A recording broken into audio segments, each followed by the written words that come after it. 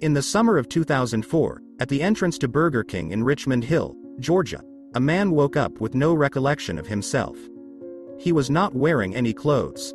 No documents or personal belongings were found with him either.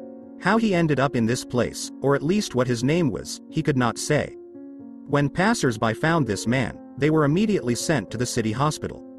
He was given a temporary name, Benjamin Kyle, under which he still lives. Kyle refused to eat or talk. He tried to keep his eyes closed at all times and did not like being touched. After a while, he spoke to the nurse. He called her over and told her that he had lived in the forest for 17 years. When the hospital employee began to ask his name, Benjamin said only what was given to him already here. After eight days in the ward, Kyle is completely out of control. He started throwing himself at the nurses, waving his fists and spitting. He demanded a priest, and then called him an impostor. The doctor diagnosed him with catatonic schizophrenia. The doctor found it odd that Kyle's mind was too clear for schizophrenia.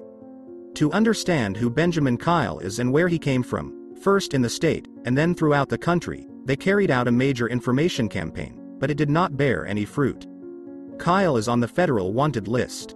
Now he is in a legal vacuum.